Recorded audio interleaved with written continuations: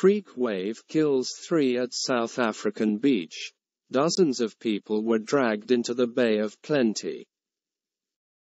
One of Durban's most popular beaches.